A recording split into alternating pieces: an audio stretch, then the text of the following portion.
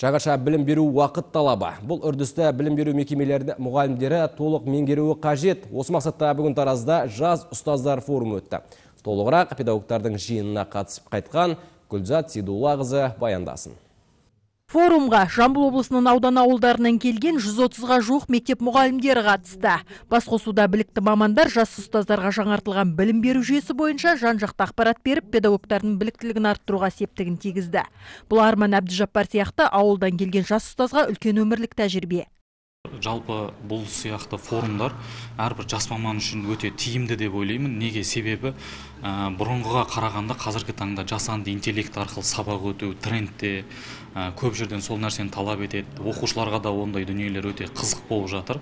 Сол себепті мен қазақ әдебиетін цифрлық білім арқылы меңгерту ә, сол бойынша ә, тренинг алып келдім. Енді жас ұстаздарға өзімнің әріптестеріме тәжірибе алмасу ретінде Жас мұғалімдердің табысты қарым қатынас құру дағдыларын дамыту мақсатында арнайы дағдыланған тренинг алаңы жұмыс жасады. Ал спорттан өнерден үлкен белестерді бағындырған азаматтар жастарды өз ісін сүюге, қиындықтарды жеңе білуге ынталандырып, көшбасшылықтың қыр-сырымен бөлісті.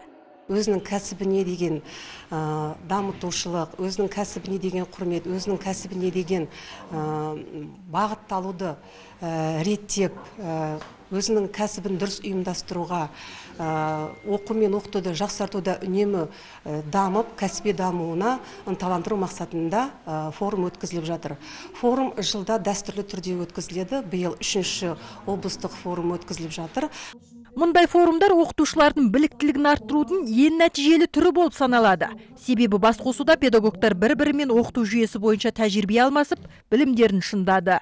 Гүлзат Сейдуллағызы Қанат Бақтылы Айқын ақпарат.